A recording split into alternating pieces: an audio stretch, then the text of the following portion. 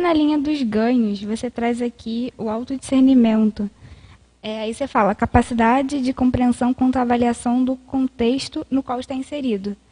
É, eu queria que você fizesse uma associação lá com a sinergismologia, que você traz o sinergismo, ponderação, dedicação.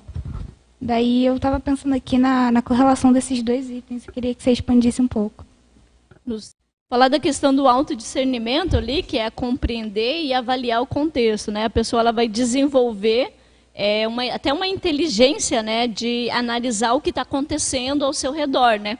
Então essa questão de, de saber discernir o que é certo, o que é errado, o que está acontecendo, porque o que pode acontecer, às vezes pode acontecer algo errado e às vezes não foi culpa sua.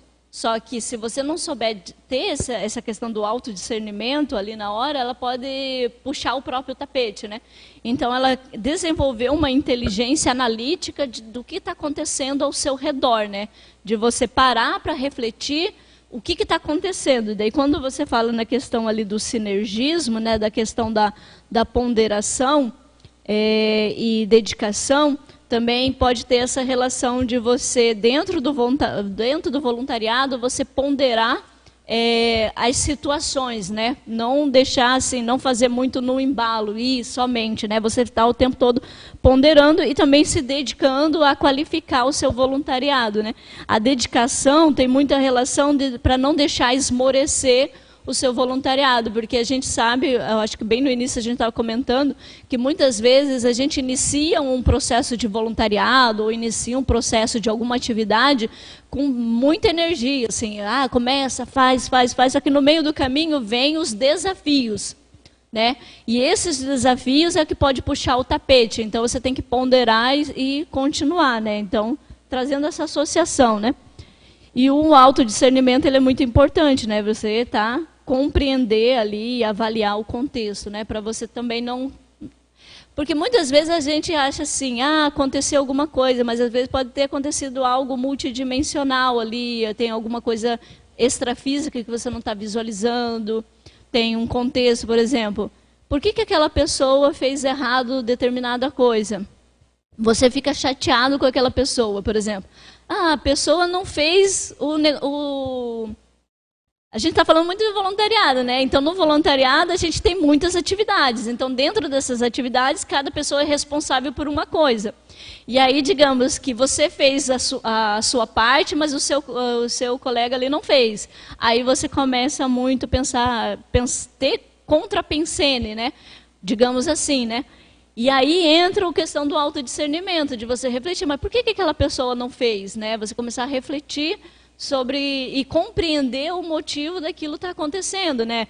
Ou estar é, tá aberto, conversar com aquela pessoa, buscar ajudar aquela pessoa para também é, buscar auxiliar o máximo possível para que o fluxo seja mais limpo possível, porque vocês percebem assim, quando você vai fazer uma coisa, parece que empaca o negócio, não vai para frente. Já já passou por isso, que parece que assim você está em grupo, né? E trabalhar em equipe é mais difícil ainda.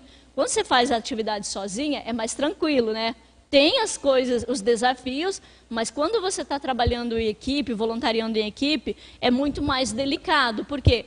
Porque não depende só de você, depende de outra consciência. E dentro do voluntariado, a gente desenvolve essa expertise, né? Ah, não, peraí, fulano de tal não fez porque ele trabalha, ele faz faculdade também, então, ah, como que eu posso ajudar ele se eu estou com um pouco mais de tempo? Como que eu posso fazer para qualificar mais o, o trabalho? E você ter esse jogo de cintura de compreender o contexto como um todo, né? E não só pensar em você, de tipo assim, ah, a pessoa não fez aquilo lá, vou ficar chateado, vou ficar com contrapensene, mas não, é aí por isso que aqui entra a questão de proatividade também, né?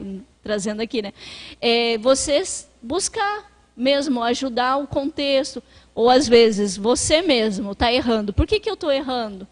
Compreender, né? E se dedicar para aquilo sair, né? Então acho que é isso. Se você gostou desse vídeo, curta, compartilhe com seus amigos e se inscreva em nosso canal. Assim você não perde nenhum dos nossos conteúdos sobre Invex.